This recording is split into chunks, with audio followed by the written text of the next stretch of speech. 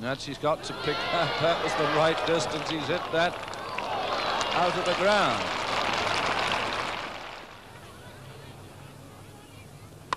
That's another one. Goodness gracious me, that peppered the top. You see the chap climbing up there to have a look over the wall.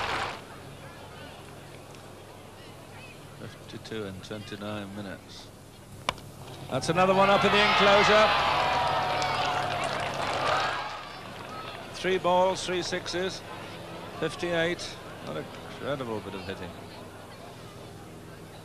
Oh, he's got that shorter one. It's up again. There it is, bouncing on the bouncing on the concrete. Four sixes in four balls. This makes him 64. Four sixes. Wonder where Nash is going to bowl this one.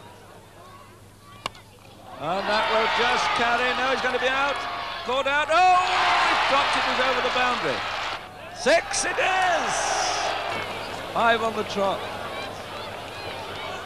Oh, this is incredible. Now, this, this, this, this is six on the trot's a world record. Been done before, but uh, 70 on the board.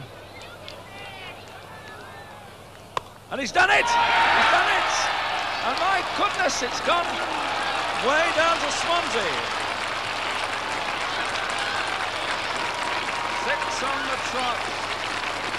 36 in one over. My goodness gracious, what an over.